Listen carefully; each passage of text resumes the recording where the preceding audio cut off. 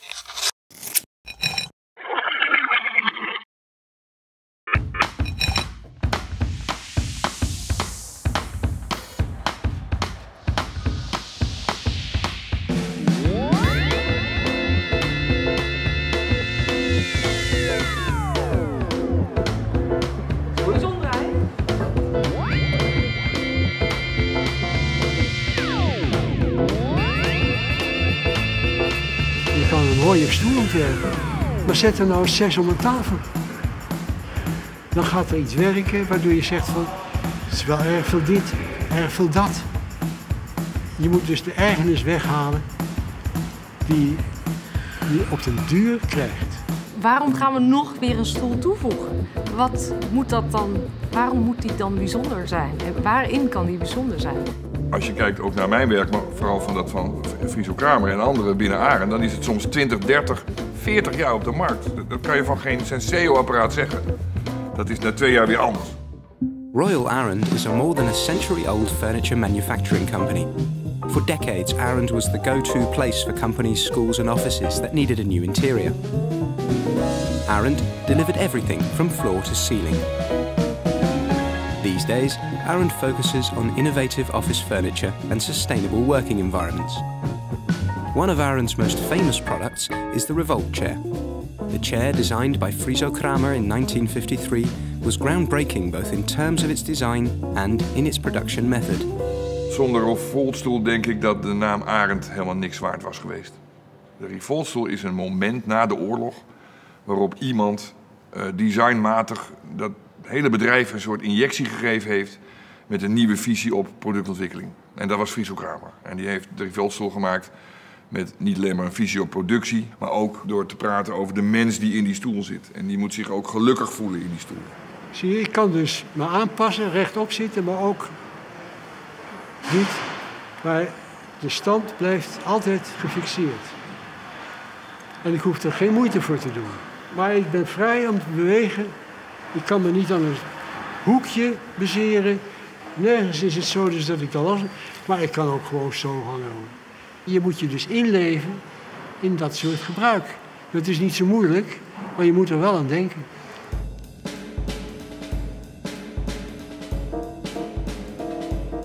Ik werkte in dit bedrijf in 53 en in die tijd was het zo dus dat je met buis in elke vorm kon je buismeubelen maken. Buis. Maar dat maakte heel Europa. Men, en dan heb ik het ook over concurrenten, zoals Gispen, na de oorlog eigenlijk alleen maar buizen konden buigen. Maar ook Tonnet en, en, en Duitse fabrieken. En iemand die iets zou verzinnen wat dat nou eens even losliet, die was een innovator, hè? Daar hadden we dan over zitten filosoferen. Dat als je plaatstaal neemt, plaatstaal en dat stamp je als het ware in uitstijgen. En dat zet je naderhand om. Dan kon je dus een heel organisch vorm geven aan een product. Wat daarna heel sterk en stijf was.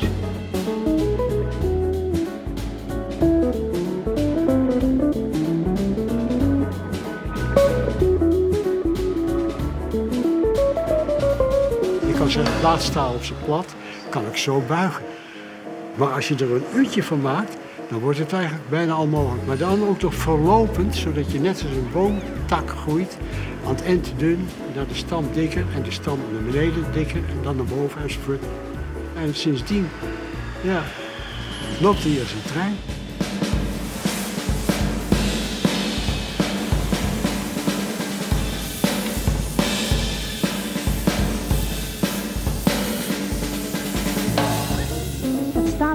Voor de stoel is klaar. De Rivolstoel is natuurlijk ook een stoel waar half Nederland op gezeten heeft. Het ding is er geweest in kleine modellen, grote modellen. De, de varianten ervan, daar hebben wij allemaal ongeveer op gezeten toen wij op de lagere school zaten. Die stoel die zit zo lang in ons collectieve Nederlandse geheugen... dat, dat, die, dat, het, ja, dat het een soort icoon geworden is. En dat had hij niet kunnen zijn als het niet ook functioneel een hele goede stoel had kunnen zijn. Dat heeft Arend naam gegeven, tientallen designprijzen, heeft Friso naam gegeven. ehm, en heeft eh Arend ook de sterke overtuiging opgeleverd dat het samenwerken met een designer een enorme winstfactor was voor de denkwijze in een bedrijf. In 2010, Ineke Hans designed the 380 chair for Arendt, designed in the spirit of Friso Kramer's Revolt chair. It is contemporary and innovative in using the latest recycled and recyclable plastics. Ineke Hans is, is, een- is bijvoorbeeld een voorbeeld van onze eh, externe designer waar we het laatst mee gewerkt hebben nu. Die een heleboel van alles heeft. Ze is internationaal bekend. Het is iemand waarvan je ook weet wat, wat je krijgt, namelijk eh, eh, visie. Dus het is echt puur uitgedacht op wat moet een stoel doen, daar moet je op zitten. En hoe dan? Lekker. En hoe moet hij eruit zien dat je je niet ergert. Dat is prima, dat is precies Arend. Ehm, wat eigenlijk bijzonder is als de, deze stoel is het materiaal. De, de rug en de zitting zijn twee verschillende materialen. De rug steekt in de zitting, waardoor ook een soort flexibiliteit ontstaat. Dus hij kan eh, stapelen, hij kan koppelen. Je kan op een vrij eenvoudige manier een stoel van maken met armen. Ja, ik ben er eigenlijk wel heel tevreden over. Want die stoel is eigenlijk ook zo bedacht dat die eh, zitting en die rug onder elkaar konden. Waardoor je een relatief klein doosje zou kunnen gebruiken om die stoel te vervoeren. Waardoor je veel minder lucht transporteert als je die stoel als enkele stoel transporteert.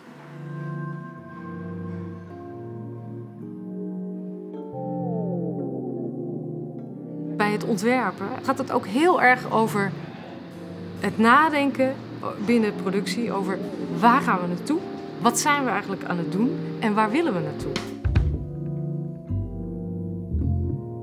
Weet je wat het is? Je gaat mee als ontwerper, behalve in de maatschappelijke ontwikkelingen, want dat heb je geleerd, maar ook in productie. Als je naar de metaalafdeling kijkt, die buizen buigt, er is geen fabriek die zo high-tech 3D-bochten door elkaar heen met allerlei radiussen uit een soort machine laat eh, komen. En daar hebben wij in geïnvesteerd. En dat kunnen we niet uitbesteden omdat die kwaliteit niet haalbaar is in het buitenland. Dus dan zie ik als ontwerper natuurlijk het hele proces om me heen, elke dag. Dat is veel leuker dan op een designstudio.